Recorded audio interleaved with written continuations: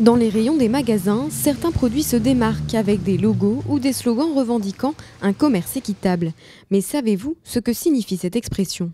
Euh, Je pense savoir que s'il s'agit de d'acheter auprès d'agriculteurs euh, grâce à une filiale particulière. Je dois louper certainement un certain nombre d'éléments, mais euh, c'est censé euh, faire travailler un certain nombre de partenaires à travers le monde qui et leur assurer un minimum de revenus et de rendements directs. En fait, c'est d'abord une histoire de conditions commerciales plus justes. L'idée du commerce équitable, c'est de mettre en place un, un modèle économique qui permette aux gens qui produisent des produits alimentaires de pouvoir vendre leur production à un prix minimum garanti qui leur permette de pouvoir en vivre. Au départ, surtout cantonné aux produits alimentaires provenant des pays du Sud, le commerce équitable s'est aujourd'hui étendu à une large gamme de produits.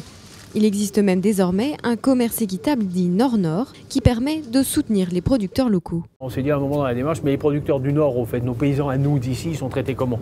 Donc là, on est allé dans une démarche de construction équivalente au commerce équitable Nord-Sud, qu'on avait appelé euh, commerce équitable Nord-Nord, et qui de fait est aujourd'hui reconnu par la loi Monde de 2014. Si les Français consomment de plus en plus de produits équitables, le panier moyen par consommateur n'atteint que 7,50 euros en 2014.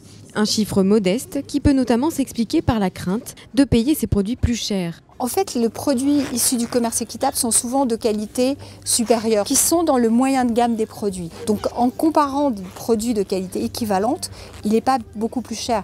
Pour, par exemple, sur une tablette de chocolat, euh, le prix du chocolat dans la tablette de chocolat doit représenter 5 centimes. Si vous avez euh, du chocolat issu du commerce équitable, ça va monter jusqu'à entre 15 et 17 centimes. Mais ce différentiel de prix sur une tablette au chocolat qui vaut 3,50 euh, euros n'est pas très important. À l'heure où 94% des Français souhaitent un juste prix pour les producteurs, le commerce équitable a de beaux jours devant lui.